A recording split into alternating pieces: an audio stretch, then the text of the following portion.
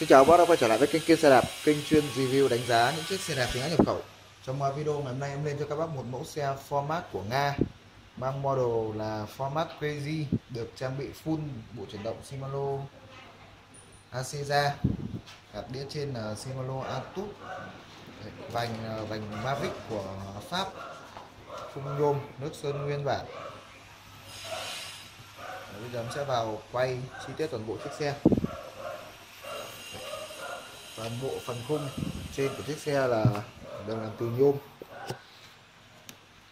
Nước sơn là nguyên bản.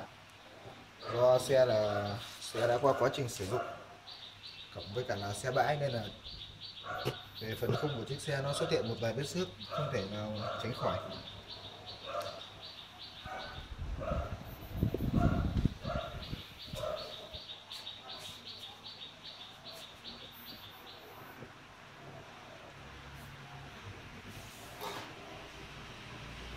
Phía trên tay lái thì à, chiếc xe được trang bị bộ tay bấm Shimano Atut và phanh dầu Shimano.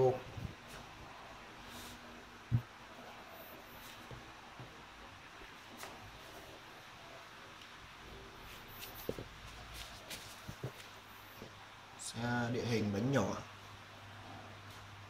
Bánh bề mặt nhỏ. Đấy, cho các bác đi trên đường à, nó sẽ bon hơn. Những chiếc lốp to. Cái này là bánh 26 inch. Bánh 26 inch.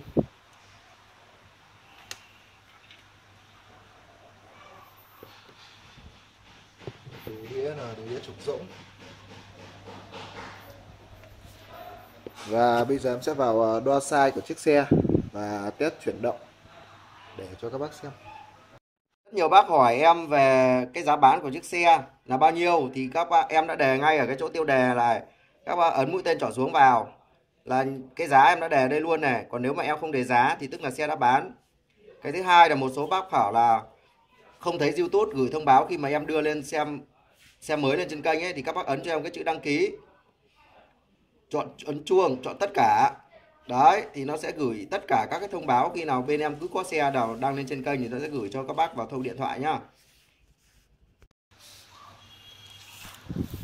Size chiếc xe đo từ tâm trục đạp đến khóa cọc yên là 44 cm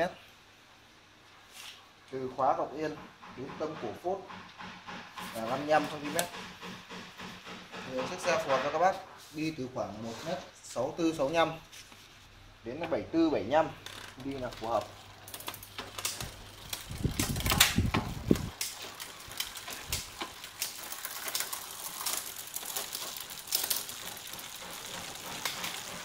Để Asiva 9 tầng lít.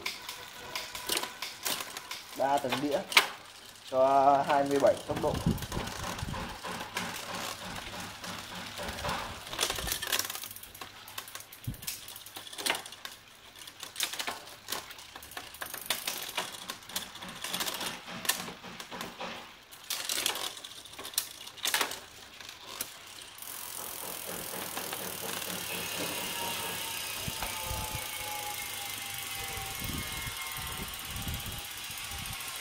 Xe địa hình format của Nga.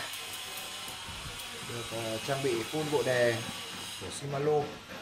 Đồ Shimano đang bán bên em với mức giá là 8 triệu 8 bao ship toàn quốc cho tất cả các bác chuyển hết tiền. Các bác uh, quan tâm đến chiếc xe thì liên hệ số Zalo trên màn hình 0975 709943 ngoài ra thì các bác ấn đăng ký kênh ở góc phải màn hình cộng với cả là ấn nút chuông để nhận được những cái thông báo mới nhất về những chiếc xe khác bọn em đưa lên kênh cảm ơn các bác đã xem hết video. Hẹn gặp lại các bác trong những video lần sau.